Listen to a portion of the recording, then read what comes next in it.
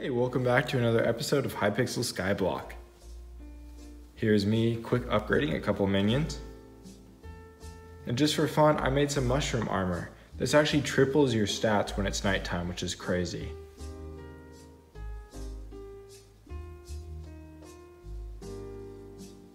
Here I made a Netherwart 3 minion.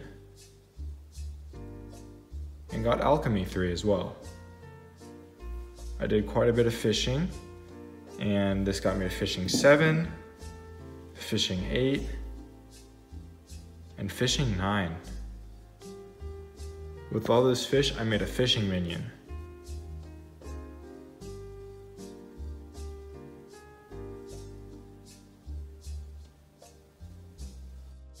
Next, I knew I needed a bow.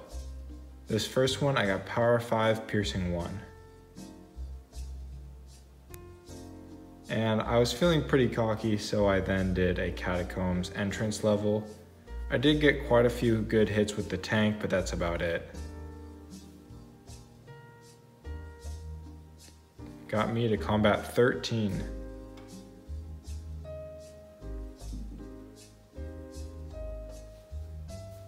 I knew I needed a little bit better bow, so I got, well, I spent a while trying to get aiming 4.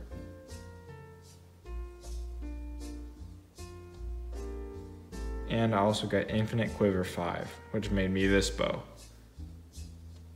Got my fishing minion to level 3. Upgraded some more minions.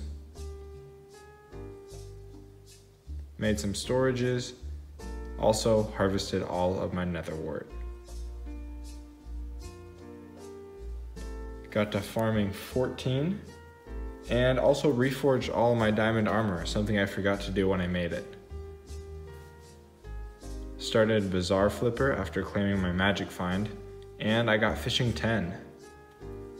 Upgraded my fishing minion, and I decided I was going to get some new unique minions. I started with Blaze, moved to Magma Cube,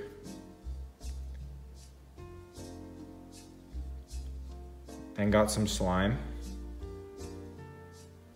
Super satisfying to kill these guys. And finally a cow minion. With all of the required collections, I made a magma cube, blaze, slime, and cow minion. And I actually placed all of these guys down. That's gonna be my episode. Thank you guys so much for watching.